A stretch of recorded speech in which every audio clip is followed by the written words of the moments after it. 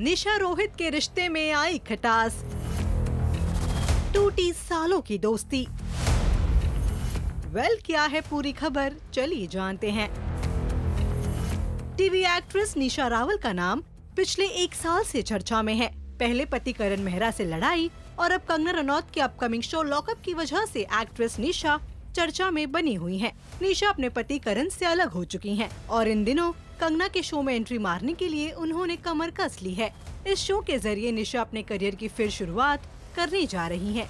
इसी बीच अदाकारा को लेकर एक बड़ी खबर सामने आई है, जिसमें बताया जा रहा है कि निशा रावल और रोहित वर्मा की दोस्ती खत्म हो चुकी है टाइम्स ऑफ़ इंडिया की लेटेस्ट रिपोर्ट में दावा किया गया है कि निशा और रोहित के बीच किसी बात को लेकर अनबन हो गई थी, जिसके चलते अदाकारा ने उनके साथ अपना रिश्ता तोड़ लिया है। टाइम्स ऑफ़ इंडिया की ताज़ा रिपोर्ट में बताया गया कि निशा ने अपनी ज़िंदगी में चल रही किसी परेशानी से जुड़ी बातें रोहित से शेयर की थी। निशा ने उस मुद्दे पर रोहित की सलाह लेने से इनकार कर दिया, जिसके बाद दोनों के बीच तनातनी शुरू हो गई। वहीं दूसरी ओर, कुछ दिनों पहले, निशा ने करण के लॉकअप में पार्टिसिपेशन के रूमर्स पर भी रिएक्ट किया था।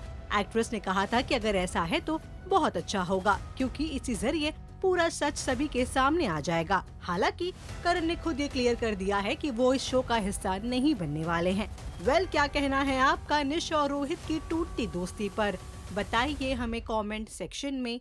And also do like follow and subscribe to Telly Masala on Facebook Instagram and YouTube